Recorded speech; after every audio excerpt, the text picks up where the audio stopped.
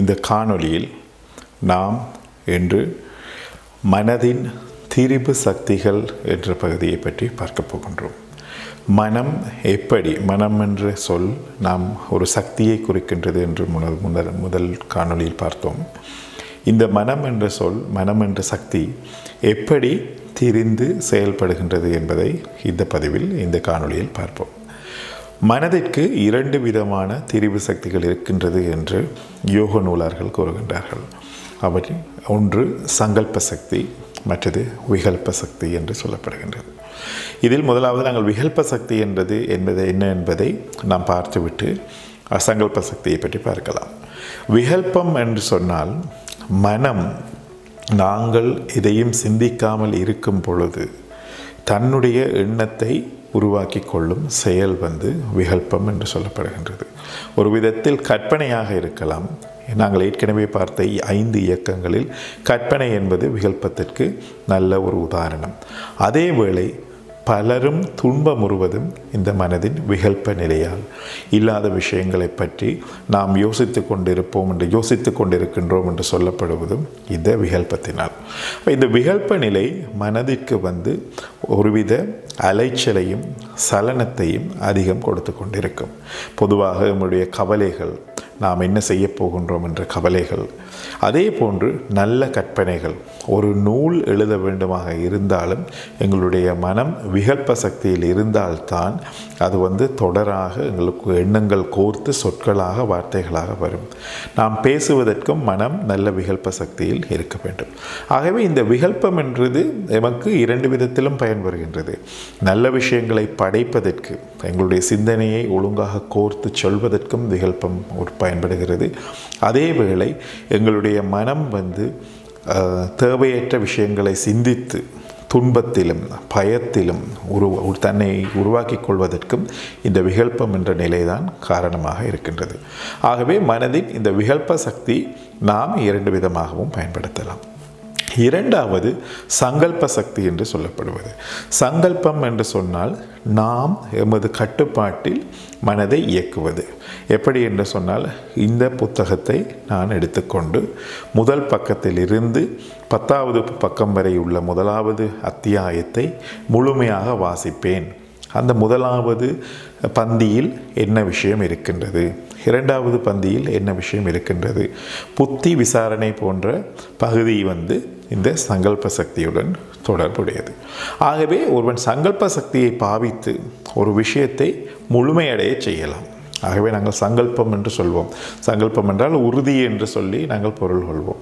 ஆகவே மனம் உறுதியான நிலை சங்கல்ப சக்தி என்றும் விகல்பம் இல்லை என்று சொன்னால் விருத்தி அடைந்து கொண்டு எண்ணங்களாக எழுந்து அலை அலையாக எழுவதை வந்து விகல்பம் என்று கூறுவோம். பொதுவாக அனைவரும் நினைத்து கொள்வார்கள் விகல்பம் கூடாத விஷயம் சங்கல்பம் நல்லது என்று சொல்லி. ஆனால் உண்மையில் அப்படி அல்ல. இது ரெண்டுமே எங்களுடைய ஒரு என்ன சொல்கிறது ஒரு மின்விளக்கை அதிகமாக போட்டால் அது வந்து தொடர்ச்சியாக எரிந்தால் சூடாகி பழுதாகி விடுவது போல். அதீதமாக சங்கல்பம் ஒரு விஷயத்தை நாம் தொடர்ச்சியாக நாங்கள் சங்கல்ப சக்தி மூலம் கவனித்து கொண்டிருந்தால் எங்களுடைய உறுப்புகளுக்கும் மூளைகளுக்கு மூளைக்கும் கஷ்டமாக இருக்கும். அதனால் மனம் சிறிதளவு விகல்பம் அடைவதும் இயல்பானது. ஆகவே இரண்டும் சேர்ந்தது தான் இரண்டும் சமநிலையானது தான் நமது வாழ்க்கை என்பதை மாணவர்கள் புரிந்து கொள்ள வேண்டும். இப்போ பலரும் நினைத்துக் கொள்வார்கள் ஐயையோ நான் விகல்பமாக இருக்கின்றது ஆகவே மனதை பற்றி யோக பயிற்சியில் ஈடுபட விரும்புபவர்கள் முதலில் தமது மனம் தாம் விகல்பத்தில் அதிகமாக இருக்கின்றோமா? சங்கல்பத்தில் அதிகமாக இருக்கின்றோமா? அதிகமாக ஒரு விஷயத்தை எங்களால் உறுதியாக கவனிக்க முடியும் என்ற நிலை இருந்தால் அவர்களுக்கு சங்கல்ப சக்தி அதிகமாக இருக்கின்றது என்று. இல்லாமல் இருப்பதை நாங்கள் அதிகமாக க கவலைப்பட்டு கொண்டு பலவித யோசனைகளை உருவாக்கி கொண்டிருக்கின்றோம் என்று சொன்னால் விகல்ப நிலையில் இருக்கின்றோம் என்பதையும் அறிந்து கொண்டு அவற்றிற்கு மாற்றீடான யோக பயிற்சிகளை செய்ய வேண்டும். அவை அவை என்ன பயிற்சிகள் என்பது பற்றி உரையாடுவது இந்த பாட கற்கை நெறியின் நோக்கம் இல்லை ஆகவே ஆனால் மன மா- மாணவர்கள் யோகம் பயிலும் மாணவர்கள் தெரிந்து கொள்ள வேண்டிய விஷயம் என்னவென்று சொன்னால் தன்னுடைய மனம் விகல்பத்தில் அதிகம் ஈடுபடுகின்றதா?